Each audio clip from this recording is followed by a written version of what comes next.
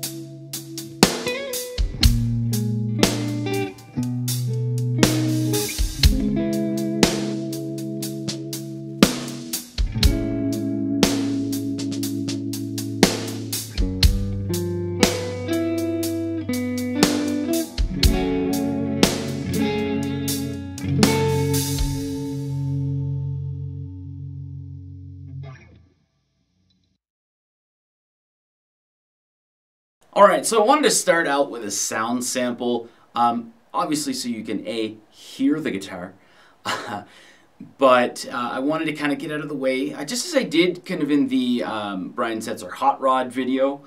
Um, I don't play like Brian Setzer, I don't play like Chet Atkins. Um, again, as in the um, Brian Setzer video, I'm a fan uh, of Chet Atkins, although I've been a uh, rather large fan for a long time of Brian Setzer.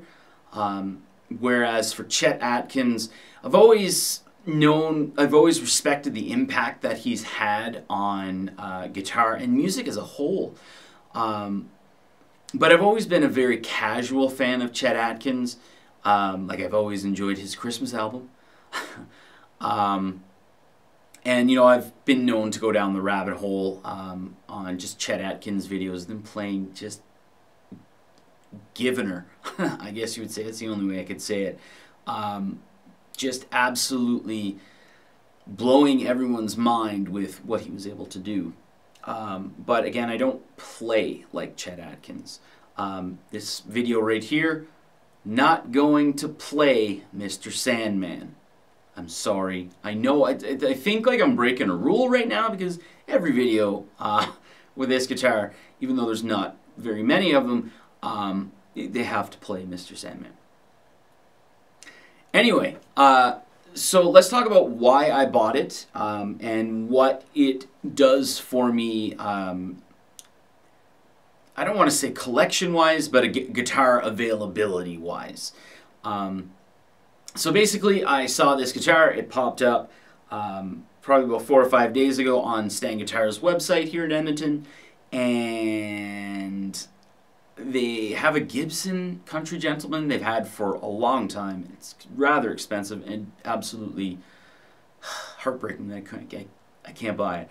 Uh, but uh, this guitar popped up and I immediately thought, okay, I really have to calm myself center myself because I've been absolutely loving my um, Brian Setzer Hot Rod and I, have been wanting another Gretsch.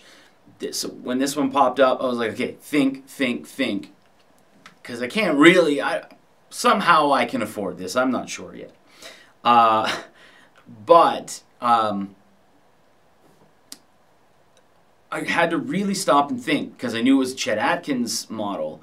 Uh, and with Chet Atkins models, not all of them, I shouldn't say that. Uh, some of his models, um, the F holes aren't real. So these are painted on F holes. And, you know, that was done to kind of combat uh, feedback back in the day. But generally when they have that, in order for them to actually have any access to the cavity, to do any uh, maintenance or upgrades, they got to have this. That's right. That gives you access to the cavity if you want to do any upgrades or do any maintenance or anything like that. Um, and I'm not going to lie, uh, those two things turned me off for probably about a day and a half uh, of buying this guitar. And I was like, mm, there's no way. Because I thought this was going to be highly noticeable. It was going to be in the way. I would feel it all the time. Uh, and I thought it looked god ugly. Like, what is it, a tambourine? Come on here. Or like a drum head. Uh, but the more and more I, I kind of looked into it, um, the more and more I actually thought there was value in having no F hole in this guitar. Uh, and, and honestly, at this point, I, I kind of think this is cool. um, I'm going to do a little bit of a comparison, acoustically, of course, uh, between this, my hot rod, and the ES335. And you can kind of hear, uh, hopefully, what's kind of going on there. Um, but anyway, I saw this on Stang Guitars. Uh, I kind of went back and forth, back and forth, back and forth, and I finally uh, bought it. But um, some of the reasons that I wanted this guitar was it actually has the muting system. So you see this little black thing here? Uh, it's actually a piece of like pad foam, and there's this little thing where you flick up, and it brings it up to the strings. And what that does is it actually mutes and muffles the strings, um, so you get a bit of a different sound. And it's something where you can actually do a bit of palm muting along with this, and it gives it a really distinct sound. So, you can have it off or have it on. It's a great feature to have, whether you use it or not. So something I've always been interested in. Uh, this one here has two volumes and a master volume. So the volume is for each pickup, and the master volume is an overall volume. So if you get like a sweet spot or whatever in one of the pickups, you can roll this around and you can kind of cut it off. It also has a kill switch.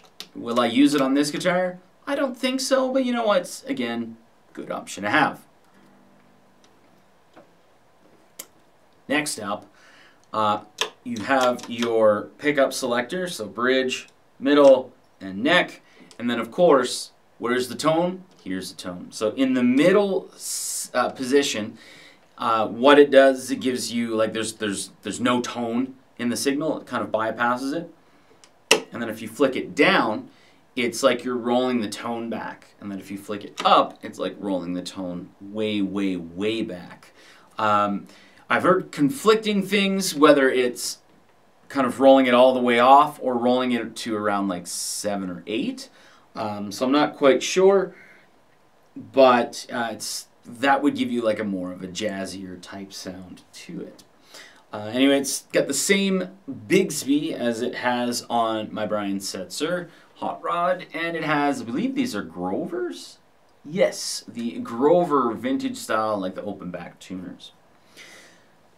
So, uh, those are kind of the specs for it and kind of why I wanted it. So I wanted another Gretsch, and um, the multitude of features that are actually available on this guitar um, just makes it a no-brainer and especially you can never find these um, and it was a good price. So what I'd like to do now is actually do a little bit of kind of an A-B um, comparison. I'm not going to be using any mics or anything like that. I'm not going to be going through an amp, but hey, I used an orange amp with an orange guitar. I had to do that. Um, but acoustically, uh, so you can kind of hear what happens without a sound hole and with a sound hole.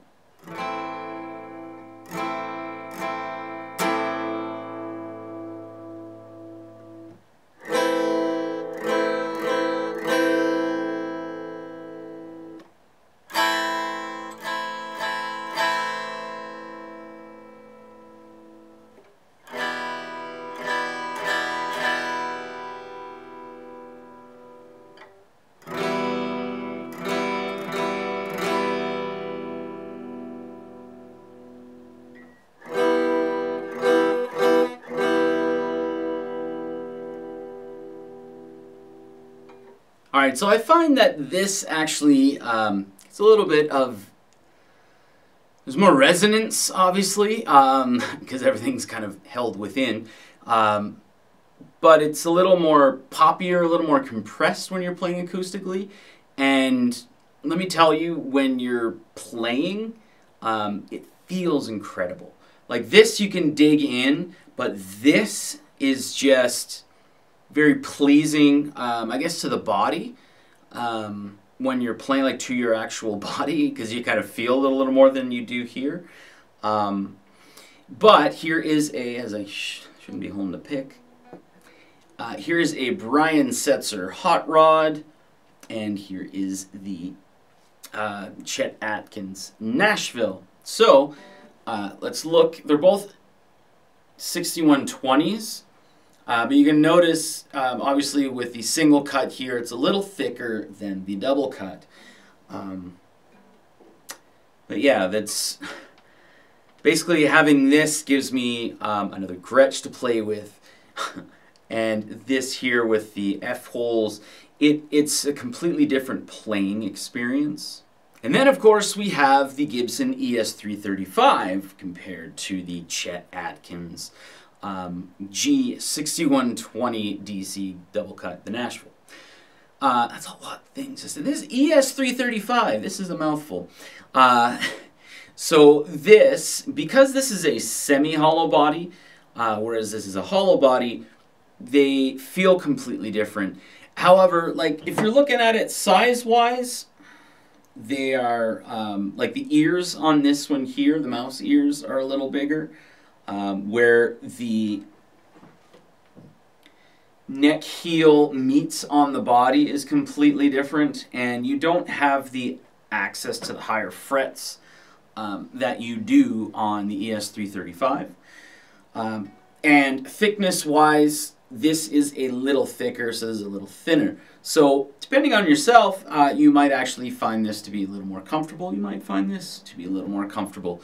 Um, but basically what this does for me now, it gives me uh, three hollow slash semi-hollow guitars that I can pull from if I'm looking to um, do any type of cleaner or uh, clean dirty, I guess you would say, sounds. Or in this, I could rip out completely. This I probably will too. I'll probably do a Will It Metal uh, video for the Chet Atkins, and it'll probably annoy people. Um, but anyway, it just gives me more options. Uh, clearly, I am a giant guitar nerd um, with 55, which I really have to get rid of some of my um, my uh, overseas guitars, I guess you would say. Uh, anyway, thanks for watching the video. Um, I'll probably do proper video comparisons with these um, or this and the Brian Setzer. Uh, but it, it's something that'll definitely be down the line. Um, I know a lot of people have been waiting on me to do the amp head shootouts, but I've had an issue with my uh, Universal Audio Apollo Twin, um, which I basically use just for DSP and as a headphone amp and it is having some major problems. So I ordered a headphone amp, an SPL headphone amp, so I kind of have to wait for that to come in to properly, properly be able to do that. Anyway, thanks again for watching. I uh, hope you enjoyed the video. Uh, watch out for more videos on this guitar.